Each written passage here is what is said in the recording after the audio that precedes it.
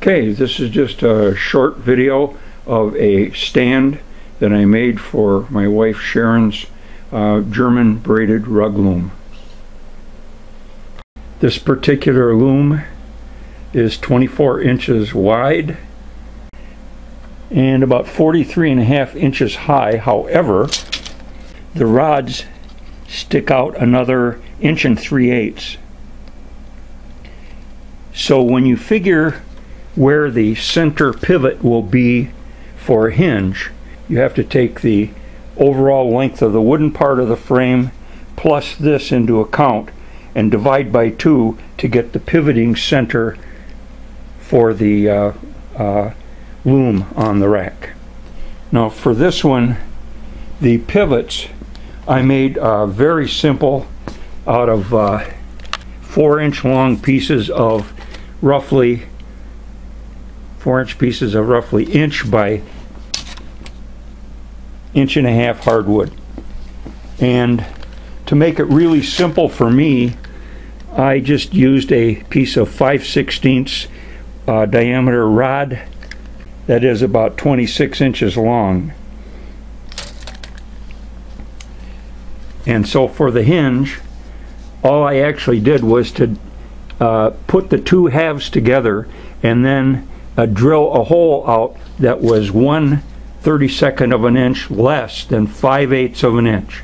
Maybe that sounds confusing, but uh, the idea is so that if you'll notice here, I've got two screws holding that hinge in place and this isn't quite all the way drawn up here because we're pressing on this uh, rod because half of 5 eighths is a 64th less than uh, than the thickness of that rod. So it creates a little bit of pressure there. So the rod stays in place. That's all that's for. Now this particular frame was broken. Uh, uh, someone else made it and they did a poor job. They picked a piece of, of lumber that had a uh, big knot in it right here. And so uh, I have a piece of aluminum that I put on here many years ago to bridge that gap okay? So that's why that looks like that. But the two hinges again are identical. Okay. So that's the hinges. Now for the other dimensions. If you notice here the whole loom is sitting about an inch above this board. And so I, I sized these vertical members here uh, to make that happen just right. Okay we'll get to that in a minute. Okay as I said previously the loom is 24 inches wide. So the uprights are roughly one inch material by inch and a half and they are 28 inches long 28 inches long and that hole that you see is one inch centered one inch from the end and centered on that piece of inch by inch and a half stock the bottom board or spreader as you might call it is again that one inch material and it's about four inches tall. In my case, the board is about 26 and one quarter inches long. So that's the 24 inch width of the loom plus two times the width of this. So if your wood is any thicker or thinner, you'll have to make adjustments. The point is that you want the tops of these guys to be at just a tiny bit over 24 inches apart when all is said and done. And you can see that there's a little like a quarter of an inch, maybe three eighths there. My boards were not perfectly straight. They're bowed a little bit. And no big deal, this was just to be a prototype. Finally, the feet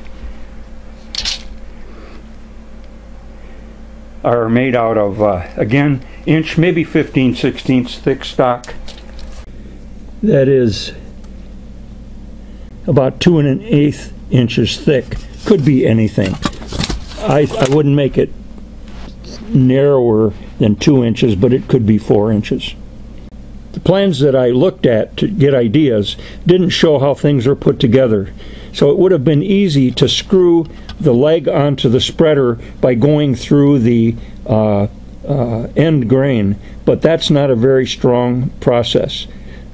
So instead, I chose to screw these guys to the sides of the legs so they would hold better. And also, also I screwed the spreader to the uprights with two screws, and those are both number 10 um, wood screws that are uh, at least an inch and a half long. They're as long as they could be without actually poking their noses through. Just maybe to repeat a little bit, you can see that that hinge, although it's tightened up, uh, there's a little gap at the top which provides tension, which provides tension on this rod so that the rod stays still and doesn't slide to the left or the right as you turn the frame over. Same thing on this side. The gap isn't as big, but that's only because this side has this this side has this aluminum here and there's a little less give in that part of the process. So, backing off again, here's kind of the back side. Here's the front side. And again, that's showing the loops for the rods in the down position. So now if I turn the loom over, which you would be doing if you are uh, working one half and then the other, all right, uh, that's what it looks like in that position. And so if we look at that in the best lit situation, kind of from the ground, we can see the the gap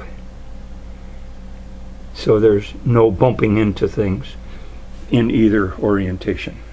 Okay, there you can see the whole machine from the backside. Thank you for watching.